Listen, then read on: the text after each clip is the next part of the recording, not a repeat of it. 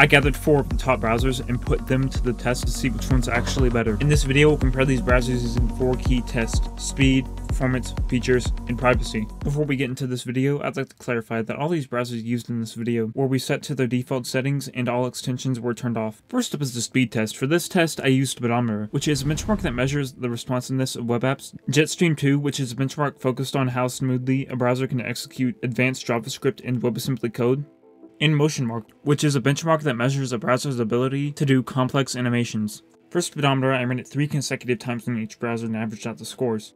Coming in first place, we have Opera, with an average score of 8.27, followed by Chrome, which has a slightly lower score of 7.98. Then we have Firefox with an average score of 6.32, and lastly we have Edge with a score of 5.36. For Jetstream 2, I don't know if it was because of the version of Edge I was using or what, but almost every time I ran Jetstream 2 on Edge, Edge would either crash or just completely freeze up. However, the one time I did get it to run without crashing, it took 42 minutes and scored a whopping 16.63 points. It's for the other browsers, they scored a lot higher, with Chrome in at first place with an average score of 158.76, followed by Opera with a score of 154.496, and then Firefox in third place with a score of just 106.512. For Motion Mark, Opera took the lead again, scoring an average of 506.41, followed by Firefox with an average score of 101.46. Then Chrome coming in at third place with a score of 395.6, and Edge coming in last with a score of 367.34.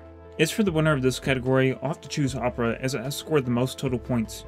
Next up is the performance test. For this test, I opened 5 tabs in each browser, one tab being a 1080p YouTube video, and the others just being Reddit and news websites. For Firefox, as you can see, it tends to use around 1.7 to 1.9 gigabytes of RAM. For Chrome, as you can see, it isn't really that much different from Firefox, with it using about 1.7 to 1.8 gigabytes of RAM. Now for Opera, it seems to use slightly more RAM than Chrome and Firefox, with it using around 2 gigabytes to 2.1 gigabytes of RAM. As for Edge, it isn't really that much different from Chrome or Firefox with it using only about 1.8 to 1.9 gigabytes of RAM. As for the winner of this category, I think I'll have to leave it at a tie between Chrome and Firefox, as they both seem to use almost the same amount of RAM. Next up is features. We'll start with Chrome. First, Chrome has a memory saver feature. Essentially what this does is make tabs that you haven't opened for a while inactive, meaning that when you go back to the tab, it will reload completely. For this, you can choose between moderate, which makes tabs inactive after a moderate amount of time, Balanced, which makes tabs inactive after an optimal period of time, and Maximum, which makes tabs inactive after a short period of time. Chrome also has a feature that preloads websites you frequently visit automatically. Lastly, Chrome is integrated with Gemini, so if you ever need help generating some AI slop, you can simply right click and click Help Me Write, and then type the description of the slop you want to generate. Or if you need help figuring out how much glue you should put in your pizza or how many rocks you should eat per day, you can simply type at Gemini in your search bar. Moving on, we have Firefox. Now with Firefox, you can send tabs between your computer and your phone by simply right-clicking on the tab that you want to send and going down to Send to Device and clicking on the device you want to send it to.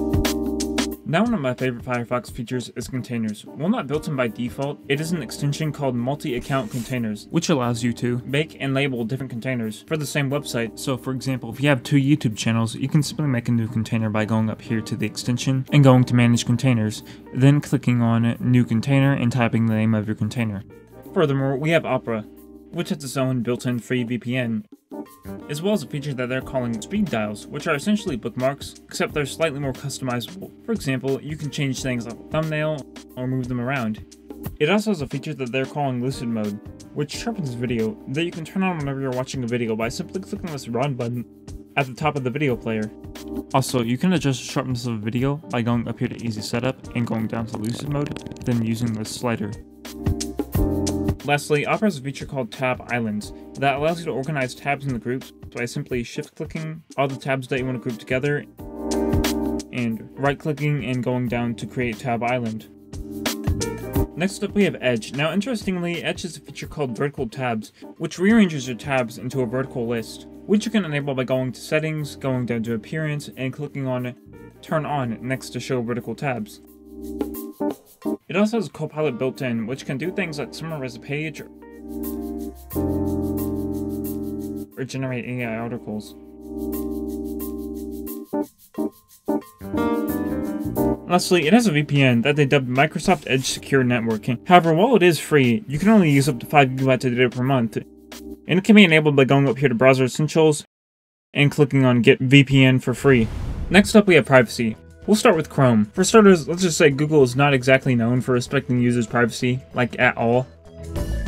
They've been sued numerous times for violating users' privacy, including one lawsuit over incognito mode where Google was forced to delete all user info that was collected while users were in incognito mode.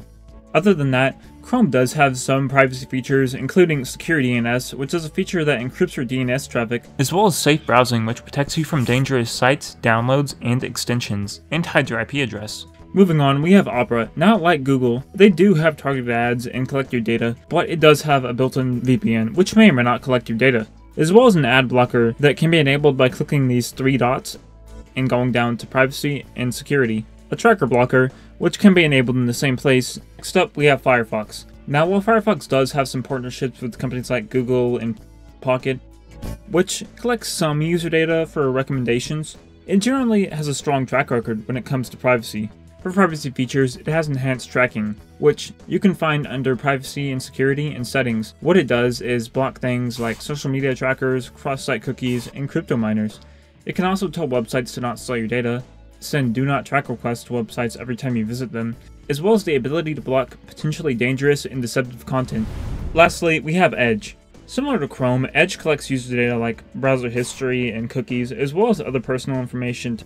As for privacy features, it has Tracking Prevention, which has three levels of protection Basic, which blocks only harmful trackers, Balanced, which blocks trackers on websites that you haven't visited, and Strict, which blocks trackers on all websites and Enhanced Security, which disables just-in-time compilation and enables hardware-enforced stack protection and arbitrary code guard. For the winner of this category, I'm gonna have to go with Firefox because while it does have partnerships with companies like Google, it also collects the least user data out of all the browsers that I've tested.